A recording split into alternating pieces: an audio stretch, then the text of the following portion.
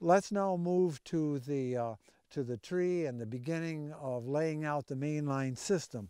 As this producer has done uh, using the anchor system that we have rather than the wrapping of the wire, the mainline wire around the tree, uh, which is probably fast and, and expedient. The good thing about this is that the wound that has been introduced in this tree is really not much larger than the wound from a single year's tapping. Uh, it's a much more reliable way of attaching the, uh, the mainline system. Uh, I see this producer has learned early on that uh, the eye bolt that is introduced into the tree, it's smart while it's still in the shop to weld the bend shut as they've done in this case.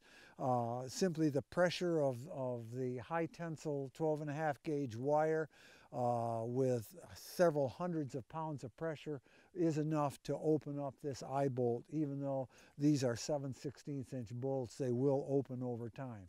So a word to the wise is not to use a, a J bolt or a hook. Uh, drill a pilot hole into the tree and, and turn this in.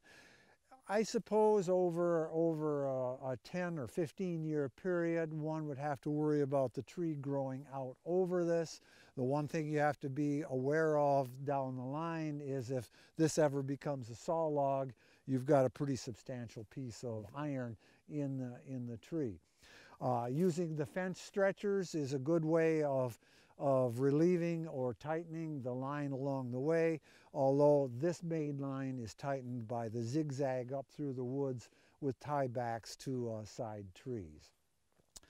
As we move along in this one place, we've got uh, the introduction of the of the main lines here. You've got two one inch lines and a three quarter inch line coming to the releaser from several areas along the woodlot.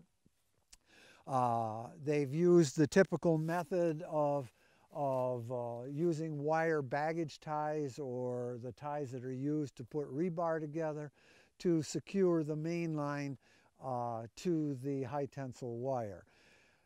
These wire ties are as close as you would ever have to use. Uh, usually you refer to this as about a foot apart. Uh, these are much closer than that. The important thing is to have as few sags as possible. Wherever there's a sag in a main line, it will create a block when this is full of sap uh, as you're moving a, a vacuum along the lines. This installation is, is both a wet and dry line installation where the individual pipes are being used both to transport sap and to conduct vacuum to all parts of the woodlot. The sag that you see in this line is something that you want to work against, uh, particularly the sag that we see where it makes the elbow uh, to the south as, we, as you look up this line. Uh, that would prevent any vacuum from moving up through the, the, uh, the mainline system.